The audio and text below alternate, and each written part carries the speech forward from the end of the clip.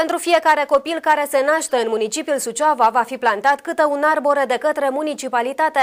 Inițiativa vizează adoptarea unor măsuri pentru consolidarea mai multor spații verzi. Concomitent cu certificatul de naștere, părinții noului născut vor primi și un certificat intitulat Primul arbore al vieții. Proiectul de hotărâre prin care se va pune în practică ideea urmează să fie aprobat în ședința de Consiliu Local de joi, 30 ianuarie. Inițiatorii sunt primarul Ion Lungu și consilierul local Angela Zarojanu. Proiectul proiectul își propune adoptarea unor măsuri pentru îmbunătățirea calității mediului înconjurător prin dezvoltarea și consolidarea mai multor spații verzi, care să asigure o calitate ridicată a aerului. Inițiatorii mai notează că pe lângă importanța acordată unui eveniment notabil, miraculos, acela al nașterii unui copil, plantarea unui pom este un act ecologic care poate influența calitatea vieții generațiilor viitoare. Dacă la nivelul Serviciului de Stare Civilă se înregistrează anual un număr de 1000 nou născuți, al căror domiciliu a fost stabilit de către părinți în municipiul Suceava prin anticipare, estimăm că în fiecare an s-ar planta un număr echivalent de puieți, fapt notabil cu repercursiuni pozitive asupra calității mediului, sănătății cetățenilor și a aerului și a esteticii mediului urban.